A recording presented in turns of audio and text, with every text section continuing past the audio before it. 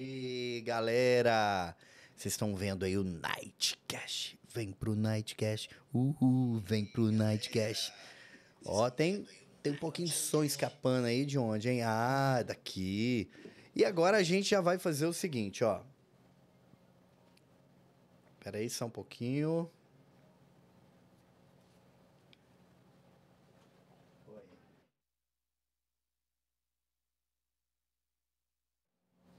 Ei! À vontade. Tá tudo ok? Tá tudo maravilhoso? Maravilhindo. Vou colocar aqui, ó. ó. Ei, som. Rodando. Vamos ver aqui. Tá saindo aqui. Peraí. Agora sim. Aí, ó. Maravilha? Passar pra você. Ah, a galera já tá falando que seu som tá vazando. Rapaz, ó. Era só um teste, mas que alegria falar com vocês, hein? Manda a imagem pra cá. Manda a imagem pro estúdio. Pode soltar. E aí, galera? Maravilha, maravilha, maravilha. Quem tá me vendo aí? Deixa eu ver aqui. Eu. Ah, agora sim. Eu tô me vendo também. Good night, good night, good night, good night. Ô galera, ó, tamo junto hoje, tô muito feliz, porque eu amo esse cara que tá do lado não, que eu admiro e eu sei a importância desse cara aqui na nossa cidade, na nossa região, no nosso Brasil, no nosso mundo. A dedicação que você tem, Fabrício, a tudo que você faz é fora do comum. Eu vou começar falando não só de obras que você fez, de recorde. Você já esteve no Nightcast, falamos sobre recorde. O seu nome consta lá no recorde, né? Vamos começar já falando isso aí. Primeiro, boa noite, Fabrício. boa noite, boa noite a todos. É uma alegria imensa, tá, meu irmão? Você falando assim, estar aqui mais uma vez com você no programa. É, na primeira vez nós falamos das obras de artes e hoje agora as obras literárias. Vim trazer novidades aí. Eu estava perguntando, Fabrício, aqui, se existe uma ordem nos livros, né? Ele hoje vai falar de três, tá? Mas eu posso falar Pode. algo aqui? Como é que tá o som aí, galera de casa? Manda aí pro Gabrielzinho, tá legal o som? Pera aí que, ó, se tá tocando aqui, porque o som deu uma sumida aí. Dá uma conferida aí pra nós, Gabriel, e tá você que tá em casa aí, dá uma conferida também, beleza? Tô aguardando aí. Dá uma olhadinha, ó. Se alguém pode mandar diretamente aí. Tá baixo demais, tá muito baixo. Som. Aumenta o som aí. Aumenta o som, DJ, agora sim, hein? Tá legal o som? Tá legal o som aí? Fala pra mim. Eu, eu quero qualidade. Eu prefiro parar aqui no início aqui, colocar qualidade. Eu tô, eu tô igual o, o, o aquele cara do pânico lá, o Carioca e o, e o Bola, eles não estão nem aí, eles param o programa, ah, arruma essa câmera, arruma isso, arruma aquilo. Mas não é, porque cada um tem um jeito, né? E como eu, eu gosto de música, eu canto, eu fico aqui ouvindo a minha voz, enquanto não tá boa no meu ouvido. Agora, assim, será que é um que é algum espectro meu? Isso? Não, não sei. É, é aquela. Caguete é... meu, né? Eu acho que é excesso de perfeccionismo. Mas aí, galera, ó, vou falar com muita alegria. Isso, isso, isso. Já assistiu Chaves? Já assistiu a Dona Florinda? Ai, quer entrar e tomar uma xícara de café comigo? Pois é, eu estive com ela em São Paulo. A gente está com material guardado. A qualquer momento aí a gente vai revelar esse material, vai passar. Tem reportagem que eu fiz com ela, bate-papo junto lá com Rede TV, o SBT, é claro, é, Revista Caras, Veja e a Majuca da Disney, que virou uma chegada nossa, uma amiga Majuca. É, já vou fazer um corte aqui e te mandar um alô, tá? Muito obrigado pelo carinho e a maneira que você me recebeu. Ela era a tradutora, que a Majuca é da Disney e ela sabe Entendi. falar espanhol bacana. O evento lá foi o Educa Fest, né, em São Educa Paulo? Educa Fest de São Paulo tá? Foi um festival lá da boa vizinhança, ah, né? Tá. Que tem tudo a ver, né? E eu tô aqui com os cards que foram autografados na minha frente, ó, com amor. Aí ela fez um coração. Florinda, Florinda. O Fabrício é, já, já tá ganhei o meu ali. aqui, ó.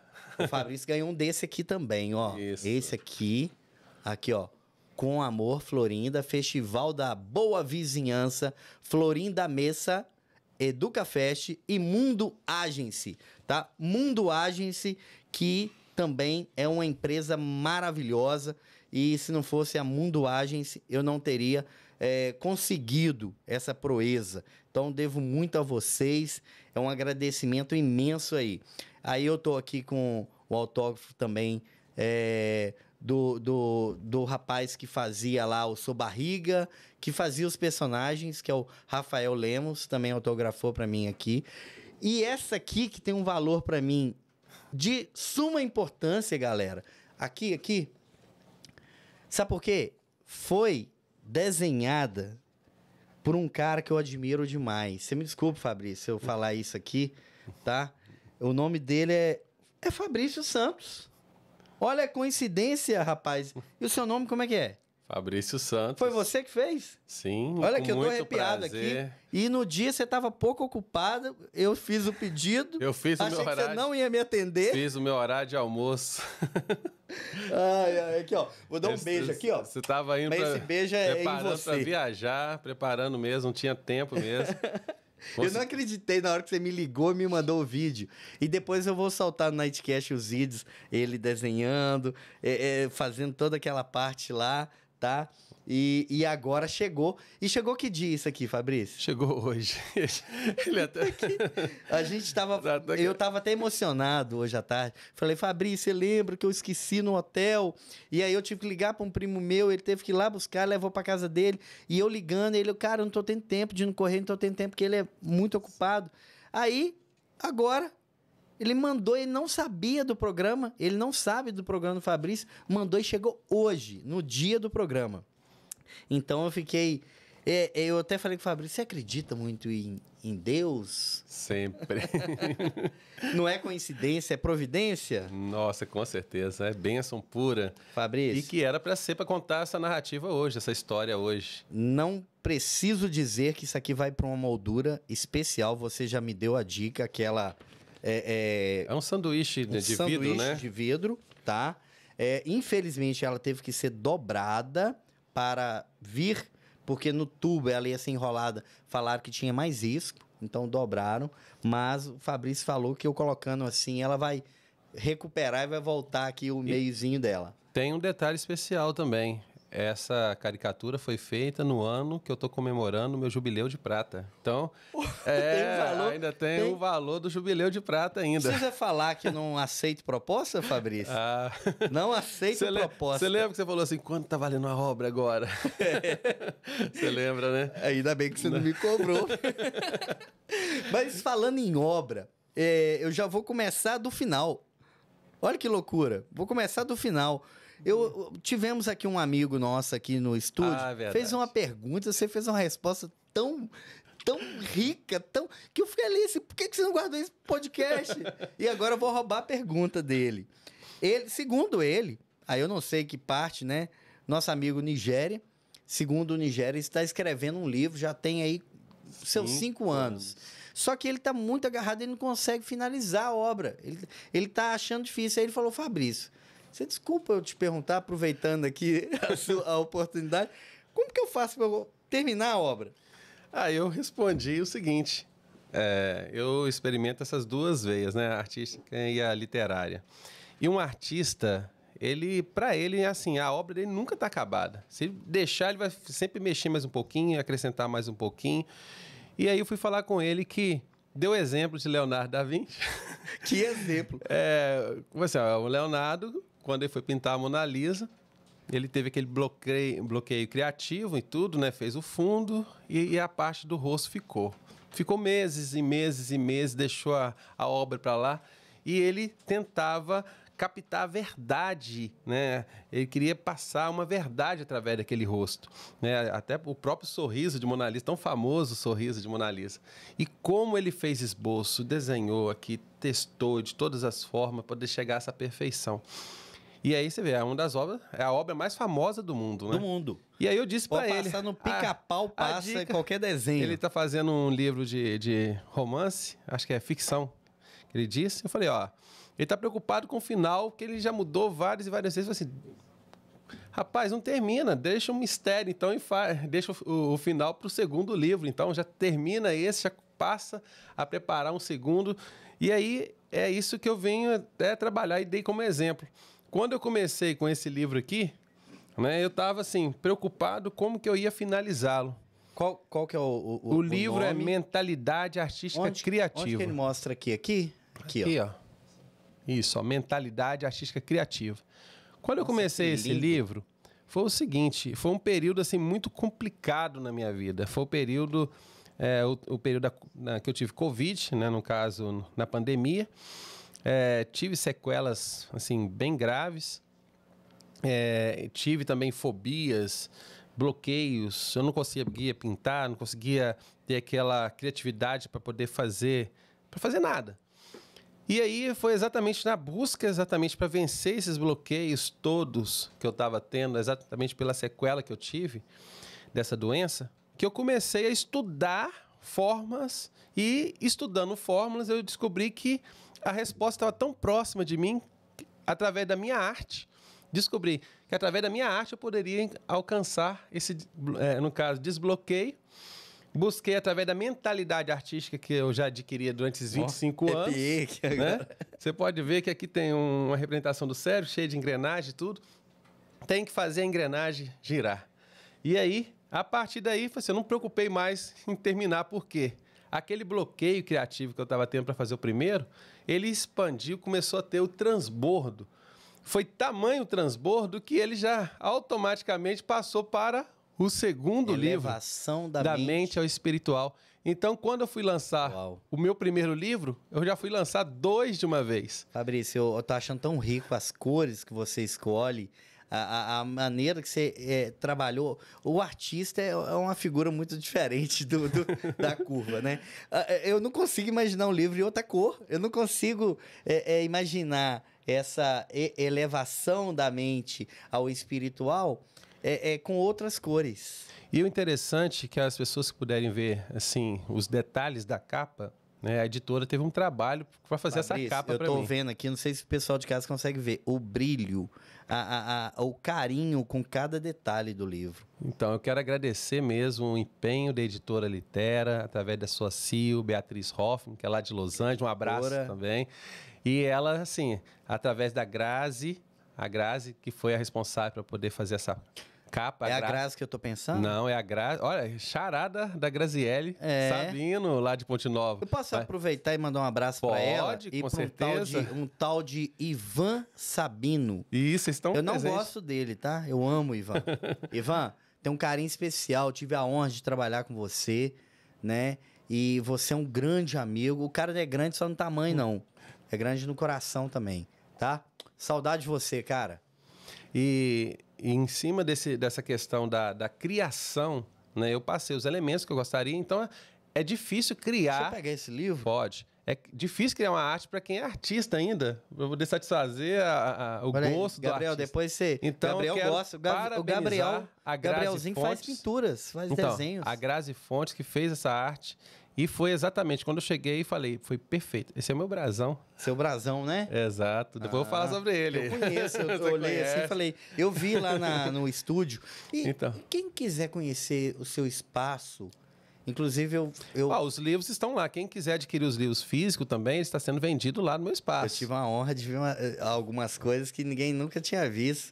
Foi. E eu fiquei um pouco assustado. Foi? Eu falei assim, eu falei assim Fabrício, mas Desculpa eu falar, você tem quantos anos? 200? Porque, cara, é muita dedicação, é muita coisa. E, assim, o que eu tô sentindo aqui conversando com você, a entrega e o que é colocado ali tem um preço muito grande. Não é sim, é só, sim, sim. não é só o talento em si, né? É, Mas... é, é algo mas foi bom você tocar nesse assunto, mas eu, então eu queria aproveitar esse momentinho, se eu puder, rapidamente, oh. porque eles, eu sei que eles estão aí vendo, prestigiando e apoiando. Um abraço à minha digníssima esposa, Marilza Santos. Com certeza. Que é lá desse centro, é o nosso centro de terapias, ela que é neuropsicopedagoga, né, tá? Olha. Daqui a pouco ela vai estar ah, aí Inclusive, também. uma é. pintura que ela fez recentemente, eu acompanhei o trabalho. Sim. Que lindo. Ela faz, ela trabalha também com esse desenho orgânico nas paredes também, ela faz. Eu queria perguntar, eu quero entrevistar ela um dia. Então, ah, eu quero saber, um prazer, eu quero saber. Eh, a, a, inspiração, porque é, é muito legal vocês dois, sabe? Então, ó, minha filha Laura, meu filho Henrique, a minha mãe Rita. Laura. Ó, nome lindo. Essa parte eu tenho que contar para vocês, gente. Dia 17 de agosto, meus pais, Elson e Rita.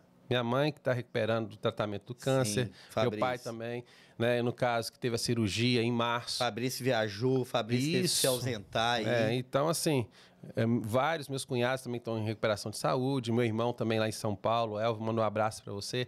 Então, é o seguinte, o que eu queria falar, que foi uma emoção tremenda no dia 17 de agosto, quando eu fiz o lançamento através da Academia Mansões de Letras desses dois livros. Meus pais entrando, eu estava já sentado lá na mesa de, de, de autoridades, né, da, da, da, da, da solenidade, e de repente já estava começando, meus pais chegam no recinto. Ah. Rapaz, foi muita emoção. Eu posso dizer para você, Parecia que eu tava dando. Ó, assim, ainda bem que eu não. Eu tive um tempo para respirar para poder falar, porque cheguei até a engasgar. Foi emoção geral. Assim, as pessoas. Você não sabia, Fabrício? Então. E meu filho chegou com ela, com, com os dois, né? Então, assim, deu um, assim, uma comoção geral no, durante o lançamento. E, e quando eu fui fazer um testemunho de como nasceu esses livros, eu contei um pouquinho dessa história de, de, de, superação, de dificuldade, dessas. Não só da minha parte, mas a parte também da doença que envolveu várias pessoas da minha família. E da família também da minha esposa, né? Acometeram, assim, situações que nós chegamos ao extremo mesmo não, de ser testado na nossa não vou fé. Não vou falar que eu imagino, não. Porque... Não, porque. E aí, assim, é, esses livros nasceram na pandemia. O meu terceiro, Grito da Natureza, foi exatamente nesse período agora de de, desse tratamento, desse período que a gente precisava extravasar, é, as emoções assim que estavam à flor da pele, é, digo que era muito difícil, foi muito difícil. E, e assim, ver meus pais naquele dia lá foi maravilhoso. Eu acho que todo mundo viu meus pais com os meus olhos. Eu posso dizer isso. Oh, que legal. Que, que foi bonito, a, bonito. que eles viram a minha emoção e eles também se emocionaram. Fazendo uma analogia aí, né? Analogia, não estou eu tô só é, explicando, a analogia é uma comparação. Fazendo uma comparação com sua história, é, eu tive a minha vovó, né, já de idade, que teve Covid também. E a vovó foi forte, graças a Deus iluminou ali minha mãe, meu tio, é, iluminou todo mundo ali que se mobilizasse para a gente não sair de perto dela, para não deixar só por conta. É, e, e, eu acho que o amor nessas horas, o Fabrício, o amor verdadeiro, esse amor que, que existe ainda, ele faz muita diferença. Sim, sim. Sabe? Igual que você foi falar do seu pai e sua mãe, eu que estou perto aqui, eu notei uma mudança de semblante. Sim. Eu notei uma, uma diferença aqui, porque você se controlou aí. Sim, sim. você se emociona. controlou. Só de lembrar, tentar vivenciar novamente a situação, a gente se emociona. Não, e há pouco tempo eu encontrei com você na rua. Eu fiquei até assim, eu te dei um abraço na hora, eu fiquei sem palavras. Fui te cobrar um negócio. Ô, Fabrício, eu tô precisando marcar com você tal, o podcast. Falou, seu bebê, você desculpa, não tá dando, porque eu vou ter que viajar. Inclusive, tô indo agora comprar lá, eu vou viajar. Rapaz, na hora que você me falou, eu fiquei sem chão na hora. Eu falei, caramba. E, e você, como que você faz você se blindar de tudo isso também? E, e igual você não entregou as pontas, não desistiu e seguiu em frente. Porque eu, eu preciso disso. Acredito que muitas pessoas que estão assistindo ou que vão assistir passam ou passaram por algo. Então, é, é, você é inspiração para muitos, tá? Porque quem conhece, os verdadeiros que conhecem Fabrício Santos, não sabe que não precisa puxar saco, não. Não precisa, precisa é realmente entender que você dedicou muita parte da sua vida a, a, a, a obras, a coisas para mudar a vida de outras pessoas. E, e, algumas pessoas não enxergam isso. Mas tudo mas... bem. Não estou falando mal de quem não enxerga. Não, mas é, né? são os pontos de vista. É, exatamente. Vou dar um exemplo. A partir do momento que você cria uma obra, é, aqui eu coloquei, eu fiz uma exposição que muitas pessoas têm assim dificuldade de mostrar exatamente o que você pensa porque tem medo da crítica. Então assim, eu busquei um equilíbrio, uma cura. E agora, através desse livro, eu estou compartilhando aquilo que eu consegui para mim. E aí, o que acontece?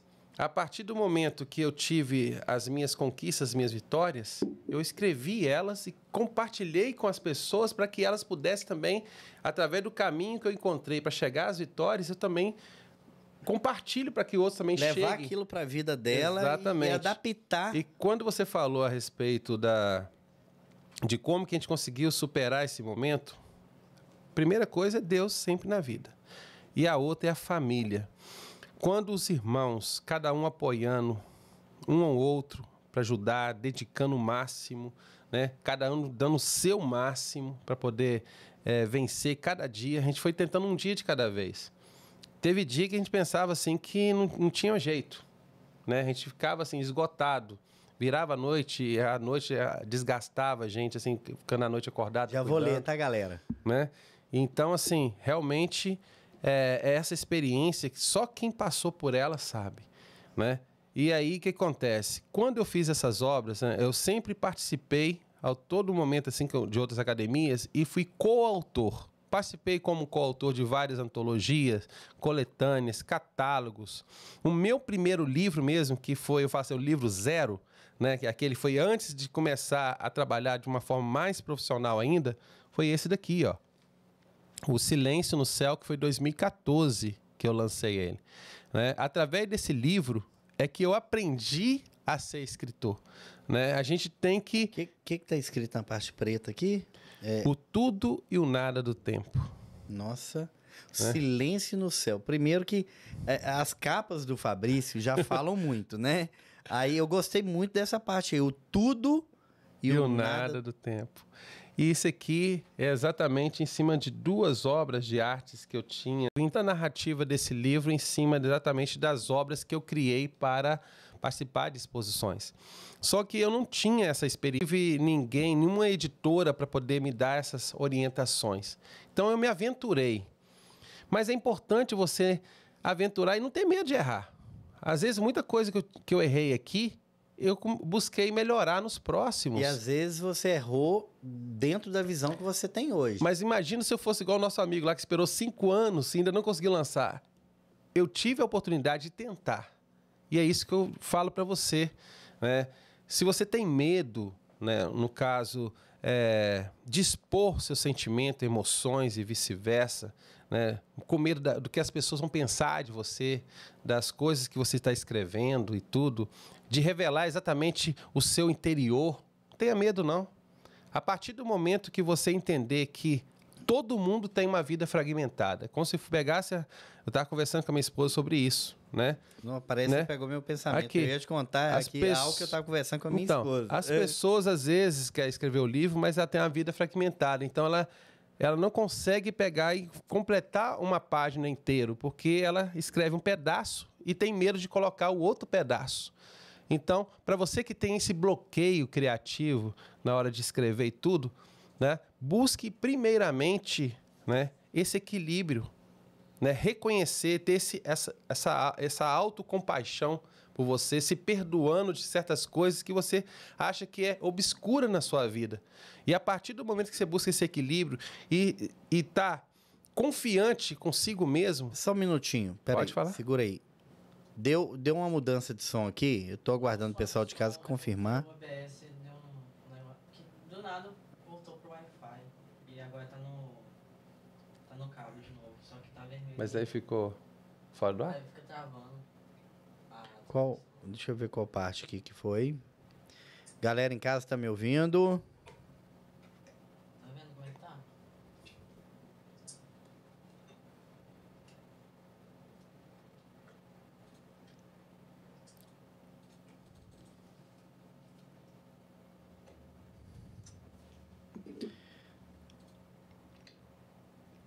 Tem alguma mensagem aí? Tô aguardando aqui. Eu acho que já tá no ar pelo que eu tô vendo aqui, deixa eu ver. Voltando. Voltou, tá ok, tá ok. Tá normal? Tá, tá normal. Aqui tá normal. Tá normal, galera de casa? Fala aí pra mim. Tudo beleza? Tá normal, tá normal. É porque eu notei a diferença na hora aqui. Você viu que eu fiz assim? Sim, sim. É por isso que eu gosto de ficar com fone. Galera, ó, é, deu, deu um pequeno bug ali no internet e sistema. Segurou, teve um atraso entre áudio, vídeo, e aí o sistema ele dá aquela bugada ali e segura. Você quer que eu Mas repita essa parte aqui do eu- que eu tava falando aqui? Eu, eu conseguiu? quero que você volte na parte que você falou da sua esposa aí, que você estava conversando com sua Então, esposa. E eu tava conversando sobre isso. Inclusive, mandar um alô especial para ela, que ela falou aqui assim, aqui, olha, Bebeto, tive um bom mestre, obrigada. Querido esposo, Fabrício, esta linda, é, é, está linda a entrevista, parabéns, te amo. Ah, eu também. Tá? amor. então, vou estar contando aqui um pouquinho dessa história que eu tive com você, essa conversa. Então, assim, para as pessoas que têm essa dificuldade para escrever e tudo por causa do medo de ser lido, né? Esse receio de ser lido, descobrir alguma coisa, alguma fraqueza. Ou expor, né, Fabrício? É, a maioria das pessoas não gosta de revelar fraquezas. Tem, ah, a pessoa Entendo. depois vai, vai Vou usar isso Vai contra mim. Exatamente. Então, assim, procure, primeiramente, ter essa, esse equilíbrio pessoal para você começar a escrever. Agora, quando iniciar, não tenha medo. Não tenha medo se vai ter final bonito, final feliz, não tenha medo. Independente da categoria, do estilo que você vai fazer. Comece. Comece, ficou ruim, você embola o papel, joga fora, mas comece, vai fazendo, vai fazendo. Procure, não se preocupe em diagramar, ficar tudo certinho, não. Faça. Porque a partir do momento que você aprende, tá? É como se fosse esse copo aqui, ó. Né? Que tá tomando água aqui, ó. Aí ele tá aqui. Não tá cheio, ainda falta dois dedos para encher. Mas a partir do momento que você vai escrevendo página, você vai enchendo esse copo. É como se fosse enchendo o copo. Cada página que você escreve, você vai sentindo ele mais cheio. E você vai ficando mais confiante. E aí, a partir do momento que você começa a transbordar, o livro brota com uma facilidade, você não tem noção. É muito importante. Esse ano mesmo, as pessoas estão achando até que eu tô um pouco afoito lançando tantos livros assim, que loucura. Mas assim, a partir do momento que eu lancei esses dois, Não a- chegou um, na né? mesma Tem um que tá semana que está sair do forno. não, já foi lançado dia 16, uma live que eu fiz Isso, com a isso. Beatriz Hoffman. Né? Bom, A podemos Sil- colocar aqui? Pode mostrar. O Grito da Natureza. O grito da. é, Me chamou muita atenção desse título, sabe? Chamou a atenção? É, assim, a minha, colocou minha mente para trabalhar bastante. Quando eu. Eu vou fazer um spoiler, assim, ó. É, assim, eu vou, vou contar porque é pra você. Mas eu, eu vou compartilhar com as pessoas que esse programa aqui é especial. Por favor. Então eu vou falar. Sem, sem, sem É, tirar sem o. tirar. Esse livro, como eu disse, ele tem. Ele é dividido em duas partes. A primeira parte, que é a parte do, do transbordo, de você mostrar suas emoções. Né? Então eu fiz vários poemas com temáticas diversas, mas uma, as temáticas voltadas para a natureza, porque eu fiz parte do Laios Clube Ecológico, é um cibernético, né? E ele tinha, assim, incumbido dessa missão de fazer uma cartilha voltada para a natureza, na defesa do meio ambiente. E aí eu comecei a me inspirar exatamente nessa, nessa pesquisa, nesse, nesse envolvimento com a natureza em si. Dá uma acompanhada na imagem para nós em relação a, ao áudio. Al- Alguém de casa aqui mandou para mim aqui. E aí eu comecei com os poemas e os- um, um deles, eu vou até abrir aqui. Um poema tem esse título, O Grito na Natureza. Mas dentro no final tem a parte que fala o grito na natureza. Eu vou ver se eu já coloco aqui, porque não está na, na ordem, né? Isso aqui é só um, um- um esboço aqui do que eu queria fazer. Mas aí falando para vocês. peraí, a parte que eu quero saber. Eu não, eu não quero perder também, não. Tá. Primeiramente, o poema da Natureza eu fiz em forma de socorro. A natureza gritando, né, no caso do desmatamento, tudo. Né, eu coloquei exatamente essa conscientização que nós temos que ter sempre. Proteger a nossa mãe terra, a mãe natureza. E aí, a outra parte foi uma experiência que eu tive de quase morte. Eu contei no livro. Foi na Cachoeira do Rio Claro. Eu era novo ainda. Meu irmão também teve uma experiência assim. É, Quero lá... que você converse com ele um dia. Então, aí ali, aquela cachoeira maravilhosa, aquelas águas, cada poço que você vai lá e tudo. Sim, então, assim, e eu, assim, eu tinha. Nessa, eu era jovem ainda, 14 anos. 14 anos. E o que, que acabou acontecendo? Eu fui com meu tio, falecido tio Lúcio, minha tia Rogéria e meu primo Juan. Nós fomos lá, tio. É, é, assim, aquela, aquele lazer que eu estava passando minhas férias lá na, em Mirim nessa época. Então ele gostava muito de ir para a cachoeira. E aí o que acontece? Eles ficaram lá em cima, lá com meu primo era muito pequeno, então eles tomando conta dele, e eu fui descendo os poços para conhecer os poços. Uhum. Só que eu não sabia nadar. Nossa. E aí eu fui, cheguei numa pedra bem alta lá e tudo, para poder ter aquela visão mais ampla daquele vale lindo de cachoeiras, né? Aí eu sentei na ponta daquela pedra e comecei a ficar olhando ali para baixo. E aquela correnteza, aquela queda d'água. Aí eu fiquei olhando e naquela